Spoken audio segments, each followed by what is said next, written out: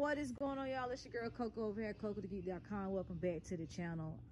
Not a haul video today. More so an update on all those cables that i had from that humongous haul. I mean it was a ton of cat 5 cables and as you guys can see i finally got through all of it.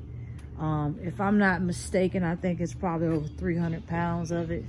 I'll have to look at my notes. They're somewhere around here.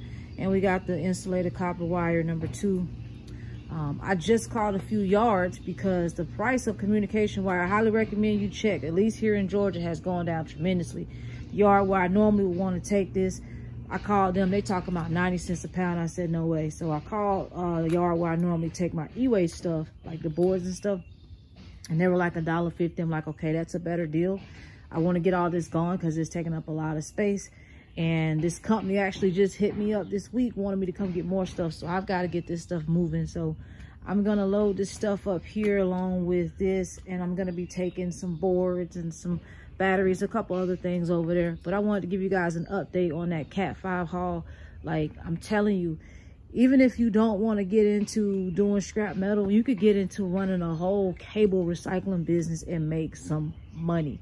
If you don't follow E-Waste Ben or E-Waste Mike, go check them guys out. They move bulk quantities.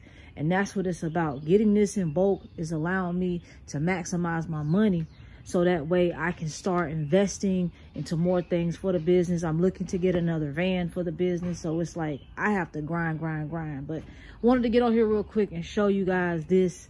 Um, I may do another video and add it to this, letting you guys know what the payout was for everything. And I may even do a video showing you everything loaded once I get it done. Who knows? But either way it goes, I appreciate you guys for tuning in. And this is how it is. Um, but anywho, I got to get back to work. So peace.